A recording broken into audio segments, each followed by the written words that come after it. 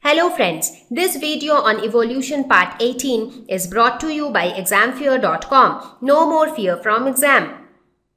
So now we will talk about human evolution that is origin and evolution of man. Now when we talk about evolution of human beings, you actually see if you look at human beings, do you think that all of them look similar?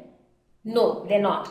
Some of them have got uh, straight hair, some of them have got curly hair, some of them have brown hair, some have golden, some have black, some have got fair skin, some have got dark skin, some have got small eyes, some have big eyes. So their features are so different from each other. And in fact, you would even see that people living in some part of the country, they look so different from people living from some in some other part of the world.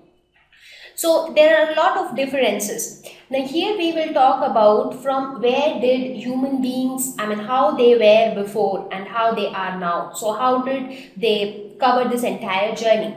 Now no matter how much different we look, no matter wherever we stay, whichever part of the world we stay, all human beings belong to Homo sapiens. So we are all Homo sapiens, it's irrespective of our hair color, irrespective of our skin color, irrespective of our hair shape or anything. We are all Homo sapiens. But here what we are more interested to know is how Homo sapiens originated, how Homo sapiens came into being.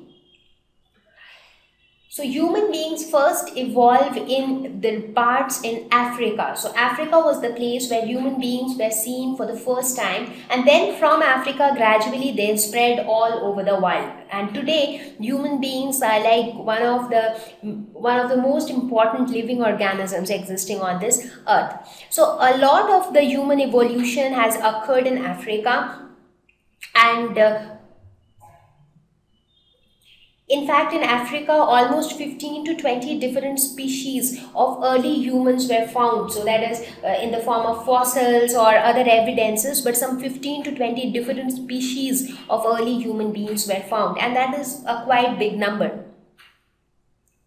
Now, human beings, the great apes of Africa, gorillas, they all share a common ancestor. So right now, some of you might feel that human beings and gorilla, they have the same ancestor. That might sound surprising to you, but actually there is nothing to get surprised because there are so many things in common between human beings, gorillas and apes that yes, they share a common ancestor and they are more closely related than their relation with any other organism.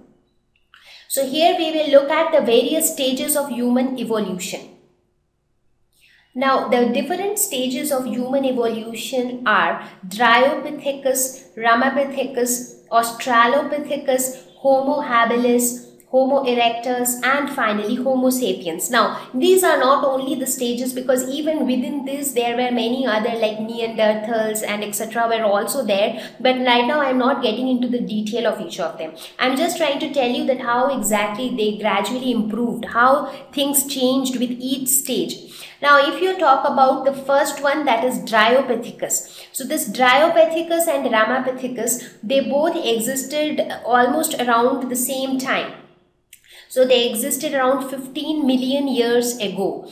Now, these Dryopithecus were more similar to the apes like the gorillas and the chimpanzees. It looked more similar to them. Whereas the Ramapithecus, it looked more similar to how we see human beings today. So, otherwise, they both existed around the same time. But some of them looked more like uh, uh, the gorillas. The other one looked more like human beings. When I say more more like man means less hairy and a little more erect when compared to the gorillas. Because if you see the gorillas and all they do not walk as erect as human beings right? So when we say man like so they are going to be more erect they are going to be less hairy. And when it is like ape like they are going to be more hairy and they are going to walk on four legs.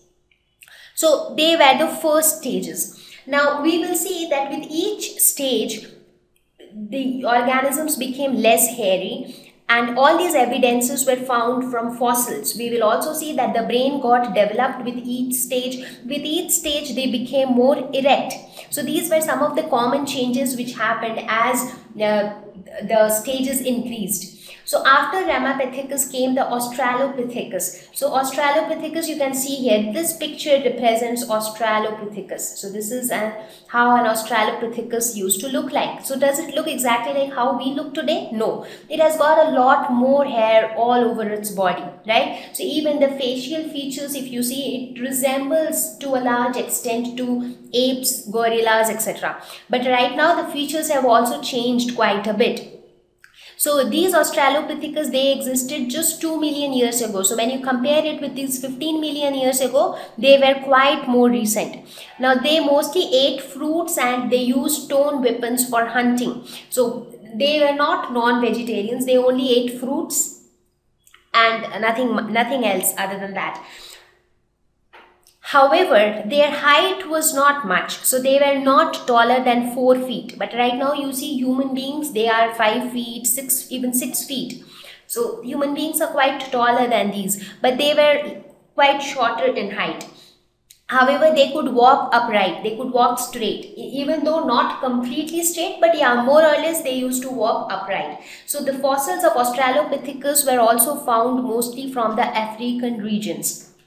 From Australopithecus gradually evolved the first human-like being which had less hair and which had a developed brain and the brain capacity was around 700 cc. So this was the capacity of the brain. But till now the brain capacity was very less. In fact for Dryopithecus and Ramapithecus it was even in it was in the range of 300 cc. That was the brain capacity. In Australopithecus somewhere around 450 cc. But now with Homo habilis the brain cap capacity increased. It was was around 700 cc and the it, if you talk about the way it walked they walked like the normal human beings like the way we do today so that means a lot of development was seen in Homo habilis and that is why they are said to be the first human-like being which actually looked like humans.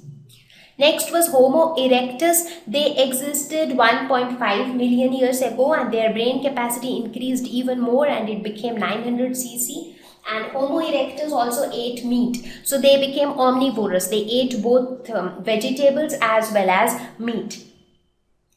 And finally came the Homo sapiens who arose around 75,000 years ago and once the homo sapiens came into picture there were many other developments which came in along with them like human settlements started agriculture began cave art began. So, so many different things began because Homo sapiens had a very developed brain. So, they utilized their brain, they did many new things and that is how the entire civilization started. So, these are the various stages through which the human evolution have come across and that is how Homo sapiens came into existence.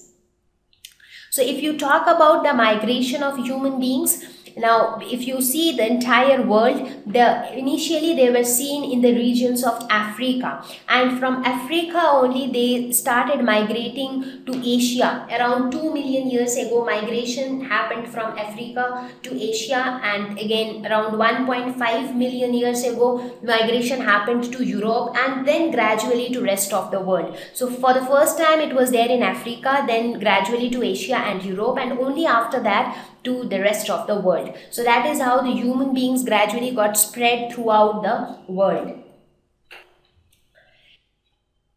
Thank you. Please visit examfear.com for an easy four-step learning process absolutely free of cost. Watch video lessons, ask questions, refer notes and take an online test. Thank you once again.